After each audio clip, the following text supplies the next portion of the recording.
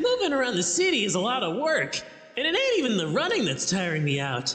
But what's it gonna take to get even a decent chili dog around here? I mean, we've been searching for the best one all around town, but I don't know. Maybe if you stopped eating so many of them all the time, your standards wouldn't be so high.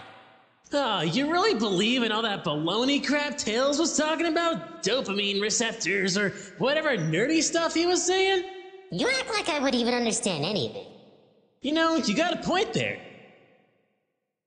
Uh, Alright, why don't we just chillax for a bit while I dangerously and recklessly sit on this fountain of chaos energy that if I fall into could turn me into my malevolent alter ego?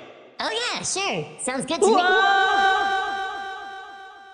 Uh, Sonic? Huh.